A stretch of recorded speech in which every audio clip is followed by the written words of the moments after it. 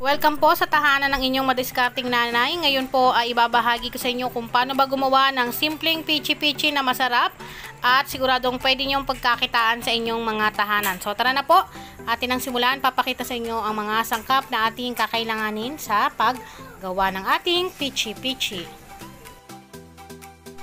So ngayon ay bumili ako ng isang kilo ng kamoting kahoy. Ngayon ay babalatan ko to at lilinisan bago natin gawing pichi-pichi. Then, gagamit ako ng blender dito. Pero kung wala po kayong blender, pwede kayong gumamit ng pang kudkod. Yung pang kayod ng mga cheese. Pwede nyo pong gamitin yon sa paggawa ng pichi-pichi. Basta pino po yung pangkayod ninyo para maganda po ang resulta ng inyong pichi-pichi.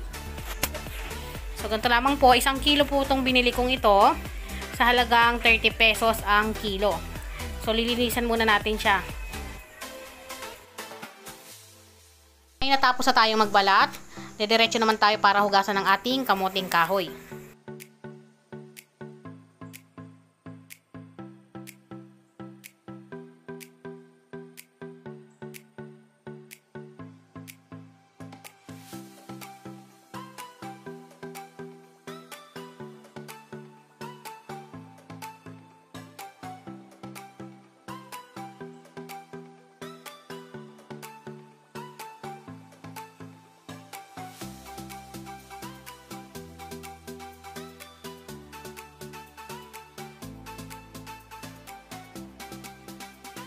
Ngayon, pagtapos natin siyang hugasan, pwede kayong gumamit ng ganito. Yung pangkadkad ng cheese. Kung wala kayong blender. Ngayon, ako ay gagamit ng blender para mabilis tayong makagawa. So, ngayon, start na natin siyang hiwain ng mga maliliit. So, hiwain ko siya ng maliliit at ilalagay ko siya sa blender. So, ganyan. Para po mabilis mapino ng ating blender. Kasi kapag malaki ang hiwa, mahirapan po natin yan pinuhin sa ating blender. Pero kung wala kayong blender, pwede po kayong gumamit ng pang grated cheese. So, yun po. Hiwain ko pa po ito ng maliliit. At tatanggalin po natin yung ugat sa gitna ng ating kamoting kahoy.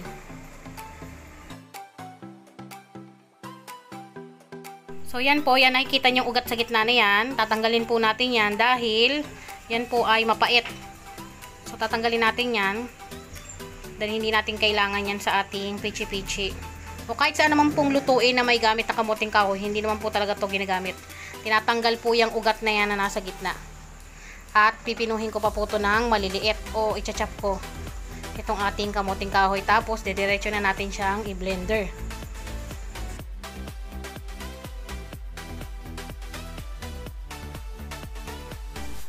Pakiusap po sa mga gagawa nito, ingat po tayo sa paggamit ng ating kutsilyo dahil lalo na kung matalim ang gamit ninyo, mas magandang gumamit kayo ng sangkalan o chopboard. E akin po, mapurol tong aking kutsilyo kaya okay lang. So, yan po. Paliliitin ko siya tapos, didiretso natin tong i-blender.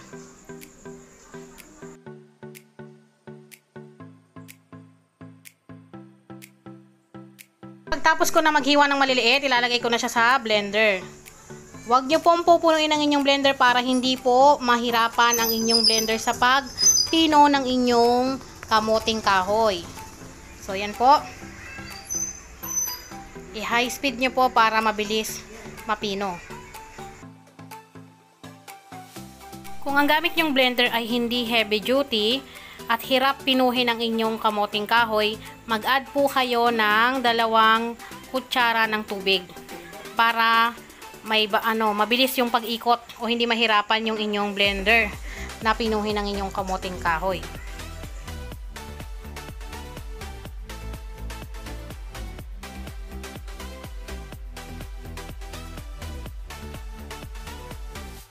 Ngayon ganito magiging itsura niya kapag katapos nyong i-blender.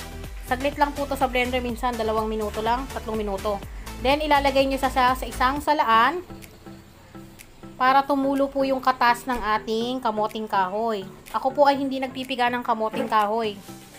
Ganun sa paggawa ko sa kasabaki ko. Hahayaan nyo lang po yan tumulo ng 30 minutes para pumatak.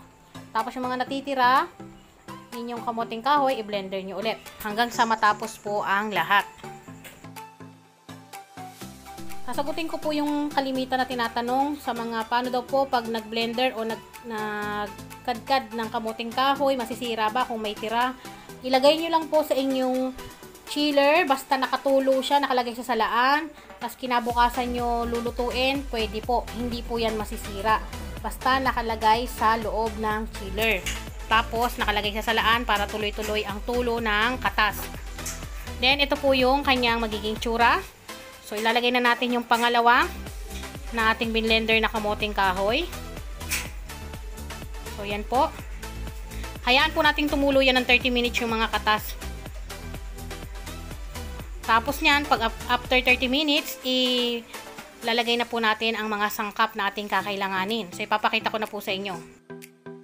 So, yung isang kilo po, sinukat ko sa cups. Nakagawa tayo ng 3 cups ng kasaba. So, yan po. 3 cups ng grated kasaba po ang nagawa natin sa isang kilong kamoting kahoy.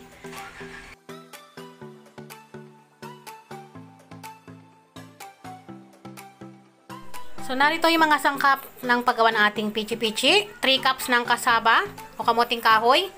1 4 kilo ng puting asukal. Kinadgad na nyog. Mas maganda po kung yung murang nyog ang mabibili ninyo para mas malinamnam. 1 half teaspoon ng asin, iodized salt po yung gamit ko. At optional, gagamit tayo ng uh, flavor. So, UV flavor po itong isa. So, yan po, nabibili to sa mga baking store, sa mga magtatanong. At, buko panda naman yung isa. Ito po ay optional, pwedeng wala, pwedeng meron. At, gagamit ako ng 1 cup ng water. So, mag-start na po tayo.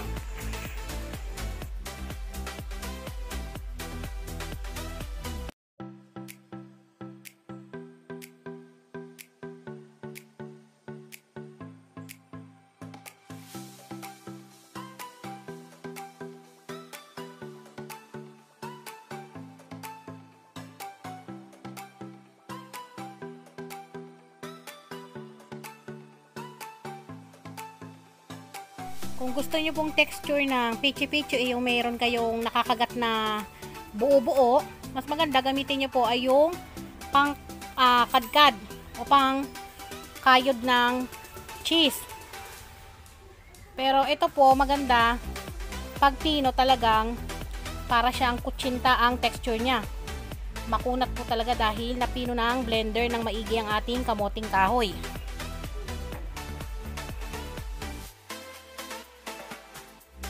Ngayon pagtapos na po natin mapagsama ang lahat ng sangkap, so hahatiin po natin to sa tatlo dahil maglalagay nga po tayo ng mga kulay.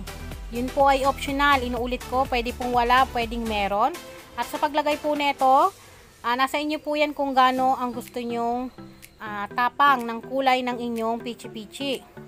Yung iba kasi gusto ng ganito dahil maganda nga daw po sa mata. Meron namang iba, ang gusto plain lang. Kaya nasa inyo po ito, optional, pwedeng meron, pwedeng wala. Tapos po habang naglalagay kayo ng mga kulay, dapat nakapagpainit na kayo ng inyong tubig. So ito po ang kulay niya. Ngayon tapos na tayo maglagay ng mga kulay. Ang isusunod naman natin ay magbabrush naman tayo ngayon ng oil sa ating mga plastic cup. O ito po yung molder ng puto. So, ang gagamitin ko po ay large size ng uh, molder ng puto. Sobrasan nyo lang po ng oil para hindi po kayo mahirapan magtanggal ng pichi-pichi ninyo mamaya pag naluto. At dapat po, meron na kayong pinapakulong tubig sa steamer dahil diretso na po natin ito isasalang. So, yan po. Tapos na tayong maglagay ng oil. Ngayon, gagamit ako ng 1 tablespoon panukat sa paglalagay. Kada isang cup po, nilalagyan ko ng 2 tablespoon. So, yan po ah. 2 tablespoon po ang sukat ko sa large size ng puto molder po. Tandaan ninyo, dalawang kutsara po ang sukat ko sa mga magtatanong. Then, pagtapos po neto, idediretso na po natin to sa ating steamer para i-steam natin to ng 20 minutes hanggang sa maluto ang ating pichi-pichi. So, tatapusin po natin ton lahat hanggang sa malagyan po natin ang ating mga molder.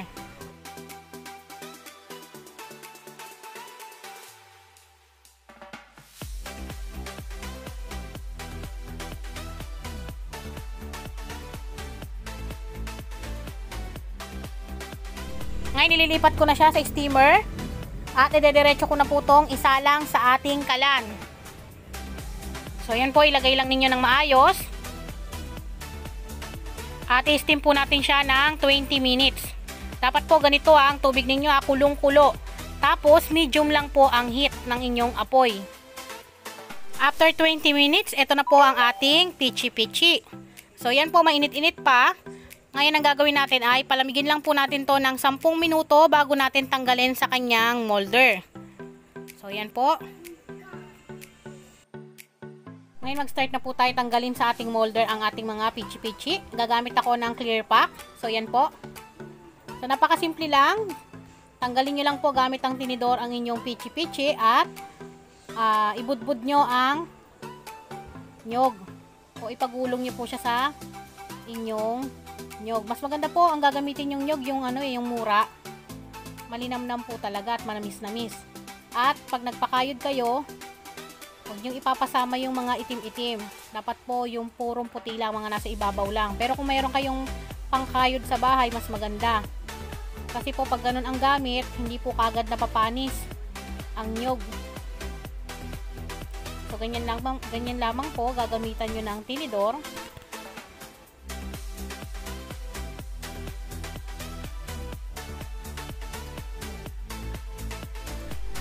Sa isang clear pack po, ang laman po niyan ay 10 piraso. At binibenta ko siya ng 60 pesos. Itong recipe na ibinahagi ko sa inyo ngayon, makakagawa kayo ng 30 pieces na large size ng molder. 30 pieces po na pichi-pichi ang magagawa ninyo. Tapos, i-divide nyo sa tatlo dahil 10 piraso kada isang clear pack na mabibenta ninyo ng 60 pesos. At ang puhunan lang po nito ay nasa higit 60 pesos lang. So kung isipin ninyo, kikita po talaga kayo. Kikita kayo pag mas marami ang inyong gagawin. So ito na po ang kanya magiging itsura. 10 pieces po kada isang clear pack. Napakaganda pong tignan. Tapos lagyan nyo lang ng label o ribbon para mas magandang tignan ng inyong paninda. Mabibenta nyo ng 60 pesos po kada isang clear pack, mga mami. Tatay na mga nasa tahanan na gustong kumita.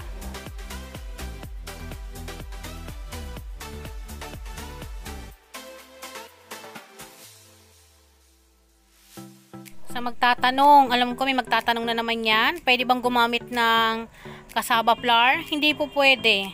Kailangan po fresh na kamuting kahoy ang gagamitin sa paggawa ng pichi-pichi po. Pwede kayong gumamit ng pang, pangkudkod o pang grated cheese para pangkayod ng inyong kamoting kahoy kung wala kayong blender. Tandaan nyo po mga nanay, diskarte lang po ang kailangan natin para uh, magkameron tayo ng extra income sa ating tahanan. So ito na po ang ating mga nagawang pichi-pichi. Meron pa akong nakalagay sa isang pinggan. So yan po. Napakagandang tignan mga mami pag colorful ang kulay. Pero kung, yun nga, sinasabi ko, optional po yun. Pwedeng wala, pwedeng meron. So, yan. Pwede nyo po itong ilagay sa inyong chiller. Mas masarap pag malamig. So, tikman na natin.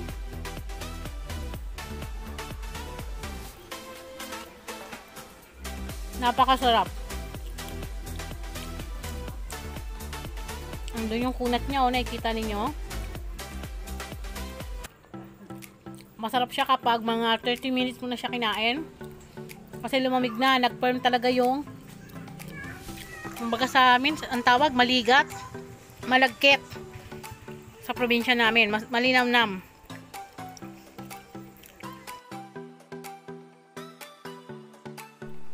Ngayon, papakita ko sa inyo kung gaano siya kakunat. Ayan po.